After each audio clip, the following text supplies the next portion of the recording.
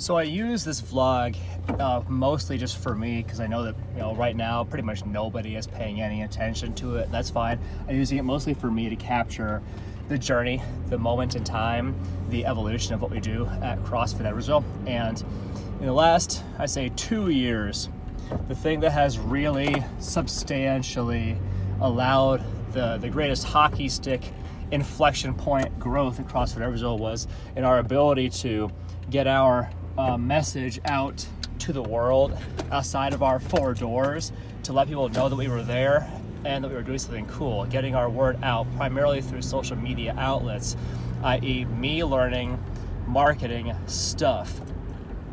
And related to that, me learning sales stuff.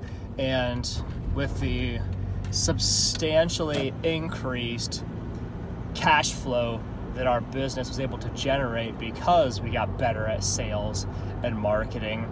I was able to step out of essentially all operational roles. I wasn't coaching, I'm not coaching classes anymore. I don't really coach nutrition anymore. Um, my role now is CEO, sales and marketing. CEO, head of sales and marketing at CrossFit Edwardsville. And that's been awesome for us as a business.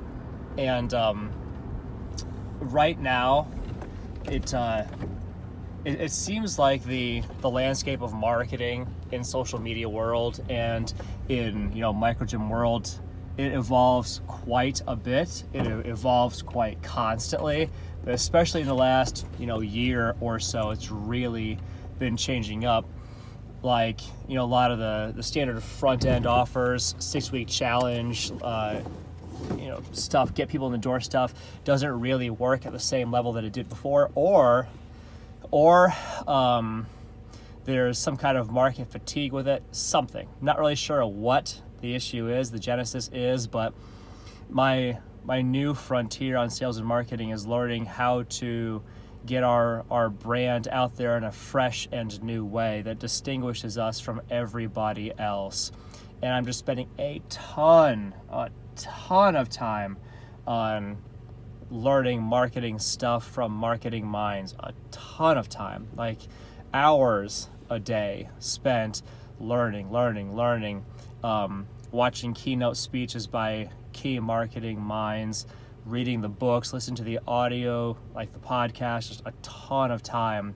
And so that is consuming a great deal of my present energy is that because uh, I am liberated to do so, I'm liberated to spend a ton of time on marketing and sales because um, over the last two years, as our cash flow continued to increase and our business continued to grow. Being able to hire so many people to do so many things that I used to do, creating standardized processes and systems that other people could replicate and duplicate on my behalf, doing all that stuff, the CEO stuff, doing all of that now, um, the majority of the gym runs freely and independently of me on the day to day. All the classes run Without me, all the programming is done.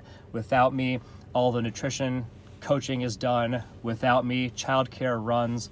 Without me, you know, um, the, the, the coaches communicate with each other on scheduling and shifting schedules.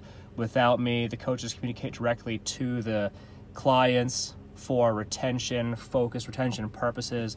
Without me, there's just so many things the machine now primarily runs without me, which means now my focus can be completely on creating an exciting and effective brand message to send out to the world and let that brand message continue to bring people in who really match our ideal client avatar. Like that's that is where I'm hanging out right now and as I write copy, as we create graphics, create video.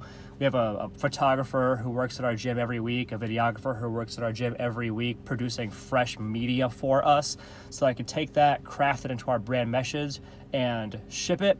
That is where I'm spending my time right now. And by practicing, practicing, practicing it, I'm starting to develop uh, a sense of our voice. What is our message? What how is what is our voice? Like how do we speak to people who are new to all of this?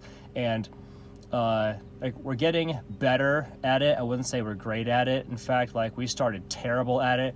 We're competent now. I would say in terms of our brand message, our brand messaging, how we get the word out to the community. I'd say we're we're reaching competence now.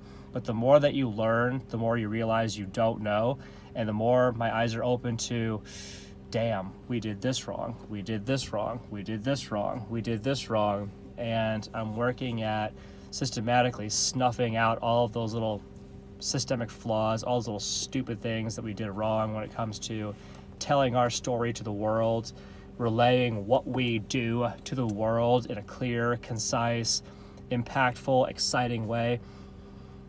Yeah, that's where I'm at right now as of February of 2020.